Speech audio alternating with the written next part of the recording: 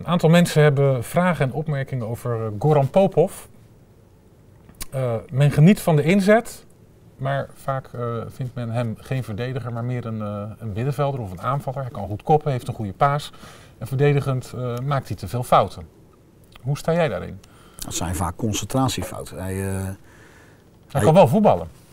Hij, uh, hij kan voetballen, een goede, goede crosspaas. Hè. Ik vind dat hij hem vaak uh, ja, te pas en te onpas bij moet momenten gaan zoeken. En dat is een beetje met Goran. Hij, hij wil vaak zoveel dingen tegelijk doen dat hij daar ook wel behoorlijk wat fouten door maakt. In verdedigend opzicht, ik denk dat hij uh, dat geen middenvelder is. En waarom niet? Omdat hij, dat zien we ook in positie spelen, in een kleine ruimte in, waar het heel druk is, dan mist hij wat overzicht. David denkt dat de linksbackpositie van hem het beste is. Heeft hij het spel voor zich. Hij moet alleen leren van een tegenstander af te spelen zoals trainers dat doen. Maar je hebt altijd te maken met een rechtsbuiten of een rechter middenvelder die, die daar speelt, waar hij op speelt. En omdat hij vaak het voetbal volgt en geen oog meer heeft voor zijn directe tegenstander, is hij wel eens iemand kwijt. Ja, dat moet hij ontwikkelen. En als hij dat ontwikkelt en zijn verdedigende taken beter uit gaat voeren, dan denk ik dat dat gewoon een hele goede linksback kan worden. Is hij makkelijk coachbaar? hij, als we iets tegen hem zeggen, staat hij er altijd open voor je. En hij steekt zijn hand op dat hij het begrijpt. Alleen hebben we het niet altijd het idee dat hij het inderdaad ook gelijk toepast. Want je ziet het nog niet altijd terug. Nee, ja, je moet ook niet vergeten, hij is, het is een speler van 5 of 26 jaar is hij nu. En uh, dat is geen jongen van 18 jaar meer. Hij heeft een bepaalde manier van spelen, waar hij uh, zo ver mee gekomen is. Dan is het best wel moeilijk om dat te veranderen. Alleen ik vind dat hij, als hij echt meer waarde voor het team wil hebben en misschien nog een stap omhoog maken, zal hij een aantal facetten beter onder de knie moeten krijgen. Dat is vooral het verdedigen, de positioneel verdedigen. Goed, de vragen over Popov kwamen van Huub Fortuin en Fokke Blauw. We gaan naar Geert van der Pol uit Heerenveen en Rinse Bergsma uit Sneek. Um, die zijn wat kritisch op Michel Breuer. Die vragen waarom je aan hem blijft vasthouden. Uh, hij is traag en hij verliest veel duels, is hun stelling.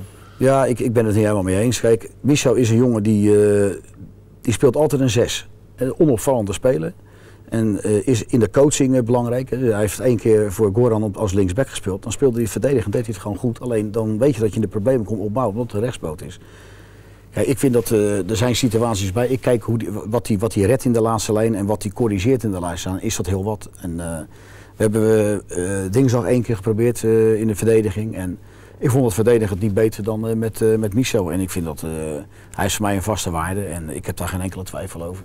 En traagheid, dat dat zit, dat zit niet in je benen, maar dat zit, dat zit in je hoofd. Hè. Snelheid zit in je hoofd. En ik vind dat hij dat, de situatie zo prima oplost. Ja, want Michel, uh, dat weet ik, heeft de naam traag te zijn. Maar we hebben het er ook wel eens ja. met Gert-Jan Verbeek over gehad. Maar die zei, Michel is een van de snelste spelers van ja, de selectie. maar het, dat is ook vaak, kijk, het is ook vaak hoe je een beetje opgesteld staat. Hij moet vaak corrigeren, ook voor anderen. Ja. Vergis niet, de, er loopt nog wel eens uit het middenveld spelen weg. Of op de flank. Ja, en dan kom je in het centrum altijd in een probleem, moet hij gaan corrigeren. En dat zijn situaties waarin mensen vaak denken, hij komt te laat. Maar dat, uh, als het goed was geweest, had hij niet hoeven te corrigeren. En, en dat doet hij verder prima. Jan, we gaan het uh, afsluiten. Ik heb nog uh, twee vragen van Cynthia Koken uit Heerenveen. Eén, spreek je al wat Fries? Nou, mijn Fries wordt wel steeds beter. Maar it get on. Dat, was, dat is de eerste, dat, dat, maar dat ken ik al van maar verder, ik moet eerlijk zeggen dat er zijn niet zoveel spelers die Fries. Volgens mij is uh, Geert, uh, Geert Arend en, uh, en Diederik, dat zijn Friesen. Ja. Ik denk ook niet dat ik met het Fries heel ver kom. Dan hadden we vermoedelijk niet die 12 punten gehad als ik dat onder de knie had gehad. Dus ik beperk me maar tot Nederlands en Engels. En zing je het Friese volkslied al mee? Nee, en daar heb ik een goede reden voor. Dat ik denk, ik ben bang dat als ik mee ga zingen, dat binnen vijf minuten het hele stadion leeg is. Dus ik beperk me maar tot een beetje neurieën. Dus, uh, en ik moet eerlijk zeggen, met het Friese vol, het, het, heeft wel wat. En ik zat altijd met Dick, met Dick van Buurk naast elkaar en zeggen we altijd zo Dick, we hebben weer een interland erbij vanavond. dus, weer een haasje. Ja. Aantal haasjes.